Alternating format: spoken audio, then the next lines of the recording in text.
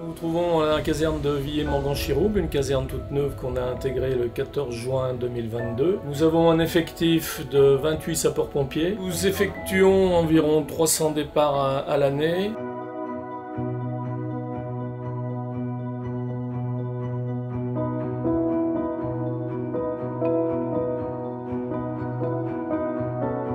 Une caserne euh, vraiment équipée euh, de technologies euh, tournées vers l'environnement. Nous sommes équipés de panneaux solaires.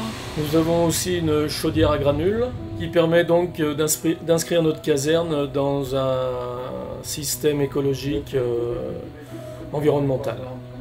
C'est une caserne fonctionnelle et très adaptée à notre demande. Et je salue bien évidemment l'ensemble des équipes qui ont rendu concret ce, projet, donc de, nombreux personnels de nos équipes euh, du groupement euh, bâtiment, de la DGT, donc la, direction des moyens matériels sont, présents. Et c'est aussi grâce à eux que ce projet a pu euh, être construit, a pu se réaliser dans de très bonnes conditions. Et puis enfin, voilà, et c'est aussi des remerciements pour les sapeurs-pompiers qui ont su attendre, qui ont su aussi intégrer ce nouveau casernement et qui, le qui continueront à le servir euh, avec, euh, avec honneur, avec passion et avec un engagement important. Je me réjouis particulièrement d'être à vos côtés ce soir pour inaugurer la nouvelle caserne de Villiers-Morgon, Chirouble, au cœur de la plus vaste commune viticole du Beaujolais et de pouvoir ainsi venir sur le terrain à votre rencontre et de pouvoir échanger avec vous. À Chirouble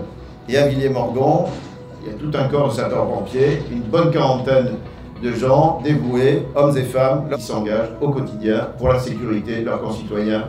Ça me paraît très symbolique et très fort.